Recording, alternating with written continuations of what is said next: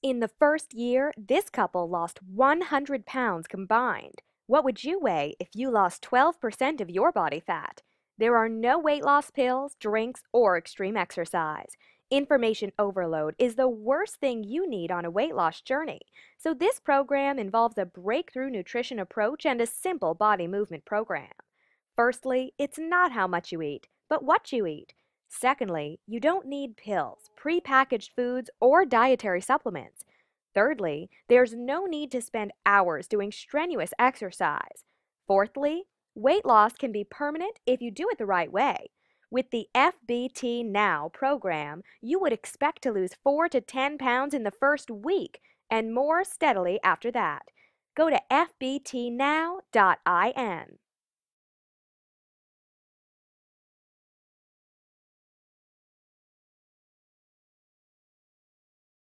Created using Powtoon.